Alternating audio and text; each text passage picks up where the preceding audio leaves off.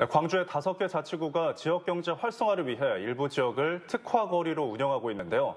특화거리 20여 곳에 들인 예산만 260억 원이 넘지만 대부분 이름이 무색할 지경입니다. 최선길 기자가 다녀왔습니다.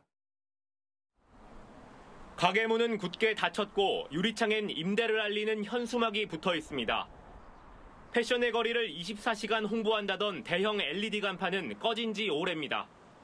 패션의 거리라고 해서 얼마나 여기에 자금을 투자했는지 모르겠지만 별로 홍보가 잘 되고 있지 않는 것 같습니다.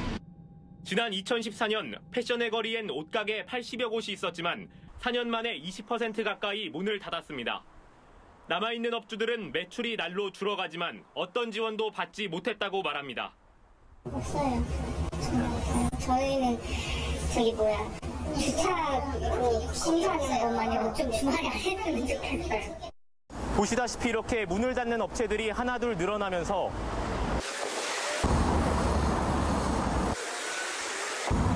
활기를 잃고 패션의 거리라는 이름이 무색한 상황입니다. 광주 구시청 일대의 아시아 음식 문화거리도 사정은 마찬가지입니다. 음식점 170여 곳 가운데 아시아 음식점은 10% 수준인 21곳에 불과합니다. 이마저도 프랜차이즈 주점이 대부분입니다.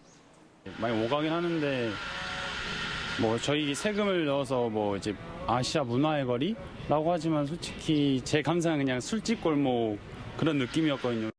광주 다섯 개 자치구가 추진하는 지역 특화 거리는 모두 20여 곳, 투입된 예산만 260억 원이 넘습니다. 하지만 예산 대부분을 주변 도로나 시설물을 정비하는 데 사용하다 보니 간판 없이는 특화거리라는 사실을 알아차리기 힘듭니다.